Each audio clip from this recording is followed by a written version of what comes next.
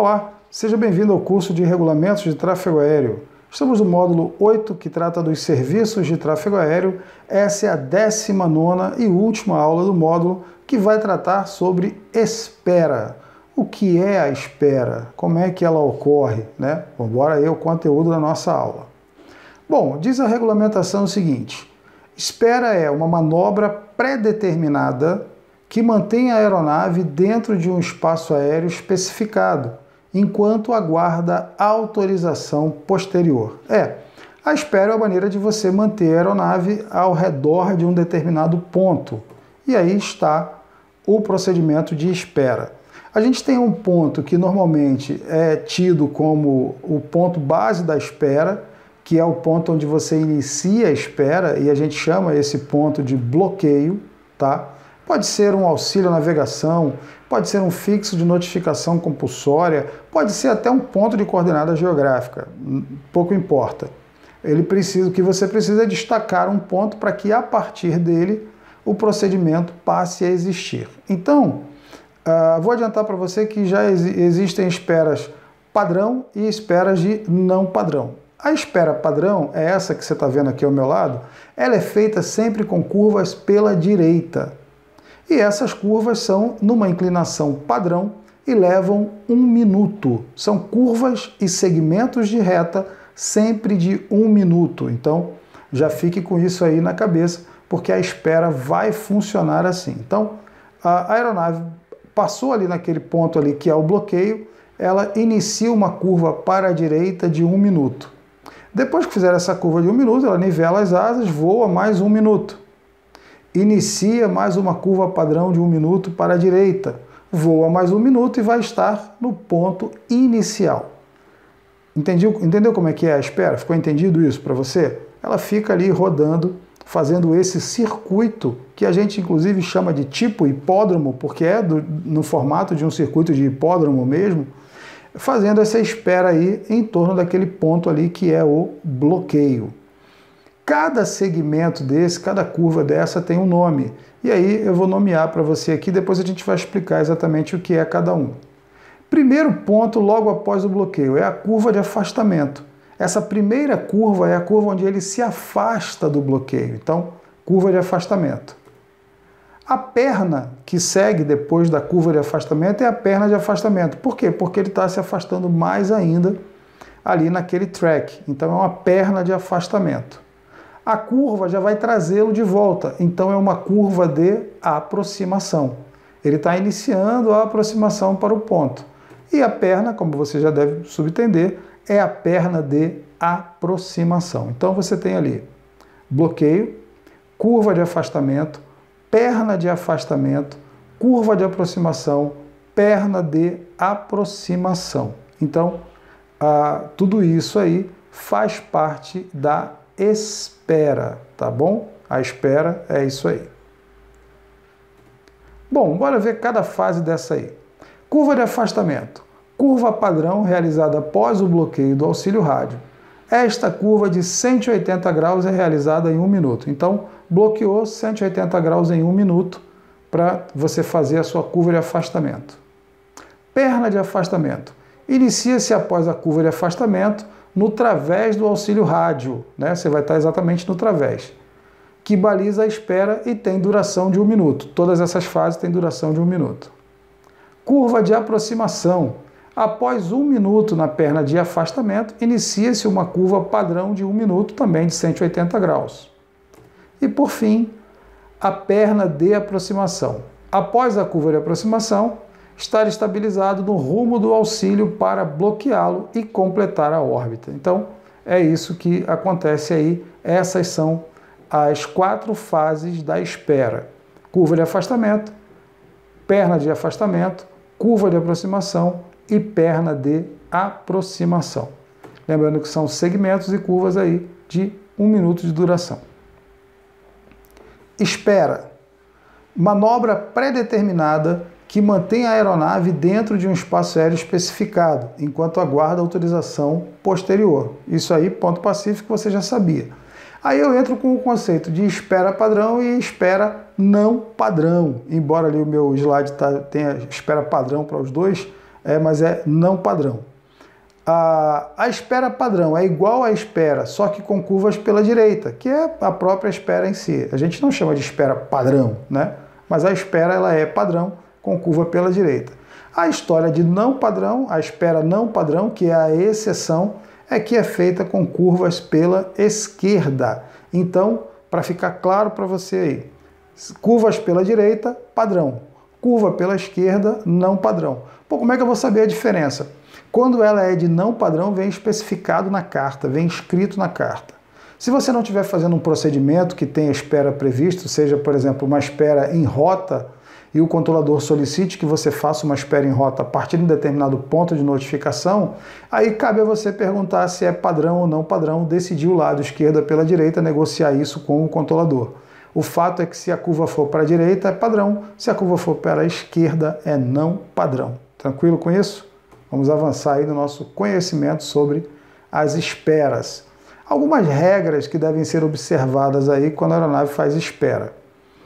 Os tempos na perna de afastamento né, deverão ser de 1 minuto até o nível 140 e de 1 minuto e 30 acima do nível 140. Todos aqueles segmentos ali, da, todos aqueles segmentos, as curvas a, e, e as pernas em si, os tracks em si, eles acima do nível 40, eles têm um minuto e meio, um minuto e meio. Então, até o nível 140, uma espera tem quatro vezes um minuto, tem quatro segmentos de um minuto, duas curvas e duas retas, quatro segmentos de um minuto, uma espera a, até o nível 140 tem quatro minutos. A espera acima do nível 140 e acima exclusive, ela tem quatro segmentos de um minuto e meio, o que dá aí um tempo total de seis minutos de espera. Tranquilo? Então, um giro até o nível 140 4 minutos. Um giro acima do nível 140, 6 minutos. As curvas e as pernas passam a ter 1 minuto e 30 de duração. Na perna de afastamento, os tempos deverão ser medidos a partir do través do ponto de referência do auxílio e compensados os efeitos do vento. Aí uma questão bastante técnica que vai ser explorada, melhor explorada, quando a gente estiver estudando navegação, né? Mas é isso mesmo que diz aí. Quando você estiver na perna de afastamento, o tempo deve ser medido a partir do, do través do auxílio. Passou o través do auxílio, cronometra, liga o cronômetro. E aí você tem que ficar atento aos efeitos do vento. Você pode estar com vento de proa, vento de cauda, isso vai interferir no tempo da sua espera da sua navegação, tá bom? Isso para ter mais ou menos precisão no procedimento que você está fazendo. As razões de subida e descida deverão ser entre 500 e 1000 pés por minuto, exceto quando autorizado por órgão a tecer maior ou menor razão. Então, razão padrão, em espera. Vai, vai, vai em espera, você vai descer, a famosa descida em órbita ou a subida em órbita. Como é que ela vai ocorrer? Com uma razão de subida ou de descida que varia entre 500 e 1000 pés. Ah, mas eu quero empregar 2.000, peça ao controlador. Se ele autorizar, tudo bem. Então, ah, há a possibilidade de um emprego de razões de subida ou de descida diferente dessa que varia entre 500 e 1000 pés, desde que coordenada com o órgão de controle de tráfego aéreo a que você está sujeito ali. Bom, olhando para essa espera, tem algo que a gente usa bastante na operação, que são os setores da espera. Porque para cada setor de aproximação que uma aeronave chega dessa espera, desse bloqueio, há um tipo de entrada diferente na espera, a famosa entrada em órbita. É, esse nome órbita é, era usado para espera antigamente, você vai ouvir muito na fraseologia ainda. A, a órbita do procedimento, a entrada em órbita. Na verdade, não é órbita, é espera. Mas na prática, você vai ouvir ainda muito a, a expressão órbita. E pode ser até que eu use aqui a expressão órbita, então já ficam aí as minhas escusas pelo fato de usar o nome errado para a coisa certa. Bora ver os setores. Que setores são esses? Bom, essa espera ou esta órbita pode ser, vai ser dividida ou é dividida em três setores, três setores. Um setor de 110 graus, um setor de 70 graus, setores angulares, e um setor de 180 graus. Então são três setores aí. Como é que é feito o cálculo desse setor? Bora ver aqui, ó. Tomando como referência o rumo de aproximação, então o rumo de aproximação é aquele que te leva para o auxílio, né? Te leva para o triângulo ali no caso do nosso desenho. Descreva um arco de 110 graus para a direita. Neste ponto, trace um segmento de reta que passe pelo bloqueio. Então, opa, vamos lá. Vamos como Jack, o estripador, vamos por partes. Eu tenho ali a espera e vou dividir os setores. Como é que eu faço? Primeiro, rumo de aproximação. Qual é o rumo de aproximação? É aquele rumo ali que me leva até o auxílio. Então, o rumo de aproximação é esse aí, ó. Tá vendo? Tomando como base esse rumo de aproximação, eu vou fazer, vou descrever um arco, né, um ângulo, um arco de 110 graus para a direita. Quando eu atingir os 110 graus, eu paro, marco um ponto aí e crio um segmento de reta voltando para o auxílio. Vai dar isso aqui, ó. Tá vendo? Já dividi o setor, já dividi os setores. O primeiro setor é esse setor aí de 110 graus. É o setor 1. O segundo setor é o segmento de 70 graus, é o arco lá de 70 graus, setor 2. E o restante, os 180 graus restantes, são o meu setor 3. Recapitulando, estica o rumo de aproximação, curva para a direita 110 graus, traça uma reta. Pronto, dividiu em três setores. O setor de 110 graus é o setor 1, o setor de 70 graus é o setor 2 e o setor de 180 graus é o setor 3. Te mostrar isso aqui dentro do círculo aí para você entender como é que fica. Fica desse jeito aí, ó.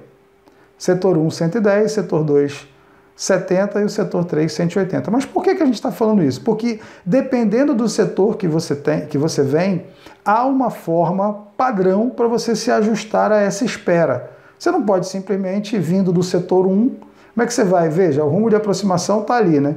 Como é, que você vai, como é que você vai fazer vindo do setor 1 para se ajustar a uma espera que está quase na contramão do que você está fazendo?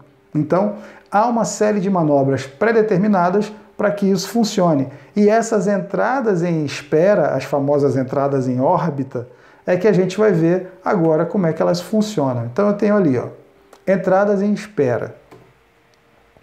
Para cada setor de onde provém a aeronave, há um tipo de entrada em espera pré-definida ou simplesmente definida.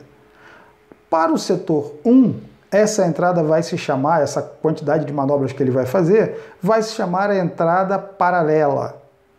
Depois eu vou explicar por quê. O setor 2 vai ser a entrada deslocada. E o setor 3 a entrada direta. Então, 1 um, paralela, 2 deslocada, 3 direta. De onde vem o recurso mnemônico famoso na aviação? Todo piloto sabe disso. 1, 2, 3, PADEDI. 1 paralela, 2 deslocada, 3 direta. 1, 2, 3, PADEDI. Isso é padrão na aviação. Você falar para qualquer piloto no mundo inteiro, um, dois, três, PADEDI, ele sabe exatamente ao que você está se referindo. E vamos ver agora como é que são essas entradas, né? Eu deixei ali um, dois, três, PADEDI no cantinho para você lembrar. E aí vamos lá, entrada paralela vindo do setor 1. Bom, primeiro, quem é o setor 1? É o setor de 110 graus, né? Então, tá aí o meu desenho. Meu setor 1 é aquele setor ali de 110 graus, eu venho dali, eu venho do 110 em direção ao bloqueio. Né? Como é que eu vou fazer? Está escrito ali, ó ao bloquear o fixo, realizar uma curva para a proa igual ao rumo da perna de afastamento. Opa, a perna de afastamento está aqui embaixo, o rumo da perna de afastamento está para lá, né? Então, é, após o bloqueio, eu vou fazer uma curva para ficar no mesmo rumo da perna de afastamento, ou seja, eu vou ficar paralelo à perna de afastamento. Por isso que o nome da entrada é paralela. Vai, vai acontecer isso aqui, ó estabilizar na proa e voar um minuto, realizar curva pela esquerda para proar o fixo. Então, ó, eu bloqueei o auxílio, peguei um rumo paralelo, né? Peguei um rumo da perna de afastamento, paralelo, fiquei paralelo à perna de afastamento e também à perna de aproximação, consequentemente, mas fiquei paralelo, voei um minuto. Tem que cronometrar isso aí. Bloqueou, pegou o rumo, um minuto. E aí eu faço uma curva para dentro da órbita. As curvas são sempre para dentro da órbita. Tenha isso aí, quando você for fazer a tua navegação, for para o simulador, lembre-se que as curvas são sempre para dentro da órbita. Por quê? Porque a órbita ou a espera é que protegem o procedimento. Então, se eu tiver que fazer curva para algum lado, que seja para o lado que está protegido. E aí a curva, ó, você vai fazer a curva e vai aproar o auxílio. Ao rebloquear o fixo ou ao rebloquear o auxílio, você aí fica girando normalmente. Então, recapitulando, entrada paralela. Você vem do setor 1, após o bloqueio, você vai fazer uma curva até o rumo da perna de afastamento, vai voar um minuto nessa perna de afastamento e vai iniciar uma curva pela esquerda até aproar o auxílio. Por que pela esquerda? Porque é o sentido da órbita né? é para dentro da órbita, para dentro da espera. É por isso que essa curva aí é pela esquerda. Ficou claro para você? Desenhe isso aí, você vai precisar. É claro que as aulas de navegação vão bater muito forte nesse assunto. Eu estou mostrando para você como é que é a situação do ponto de vista das regras do tráfego aéreo, tá? Você vai aprender a fazer isso direitinho, cronometrando, lendo o QDMike uh, aí nas aulas de navegação. Bom, a nossa próxima entrada, 1, 2, 3 para a gente vai falar do setor 2 agora, é a entrada deslocada. Né? E aí, como é que é a entrada deslocada? Eu venho ali do setor 2, ó. Eu venho lá daquele setor de 70 graus, que é o setor 2. Como é que ele ocorre? ocorre? Ao bloquear o fixo, realizar uma curva para uma proa de 30 graus menor que o rumo da, da perna de afastamento. Então, após bloquear o auxílio, eu vou tentar pegar uma proa 30 graus menor que o rumo da perna de afastamento. Então, eu vou fazer exatamente aquele desenho que eu tenho ali na, na, na espera, aquele desenho pontilhado, aquele tracejado vermelho. Eu venho lá de frente, bloqueio e boto 30 graus ali. Você já sabe que a curva é sempre feita para o lado né, de dentro da órbita. Então a curva aí vai ser para a direita, obviamente. Ó.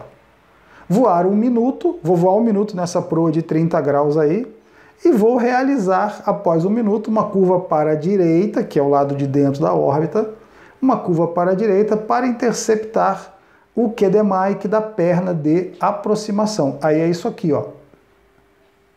Recapitulando, você bloqueia, né? Voa um minuto 30 graus defasado da perna de afastamento, inicia uma curva até interceptar o QDMIC da perna de aproximação. É isso que se espera numa entrada deslocada, deslocada. Volto a dizer, tecnicamente você vai aprender a fazer isso nas aulas de navegação. O que a gente está discutindo aqui é a, a, a, regulamentação disso. O que você precisa saber basicamente dessa aula é 1, 2, 3, PADEDI. Mas eu já estou aqui antecipando um pouco as aulas de navegação, até para te dar uma visão é, do, de, de, regulamentação de tráfego aéreo aplicada à navegação. É assim que funciona. Tranquilo? Vamos para a próxima entrada em espera, que é a direta. Essa é a mais fácil. Eu até coloquei três segmentos diferentes ali, que é o seguinte: de onde você vier, ali dentro do setor de 180 graus, você aproa o auxílio e pronto. Ao chegar nele, faz a órbita padrão, faz a espera padrão. Tranquilo em relação a isso? 1, 2, 3, PADEDI. Setor 1 é o setor de 110 graus, entrada paralela. Setor 2 é o setor de 70 graus, entrada deslocada. E o setor 3, o setor de entrada direta, o setor de 180 graus. Tranquilo em relação a isso? Bom, finalizamos assim esse nosso módulo e o nosso próximo módulo vai falar dos serviços de controle de aeródromo, como é que funciona a torre, agora do ponto de vista das regras de voo por instrumentos. Vejo você no próximo módulo.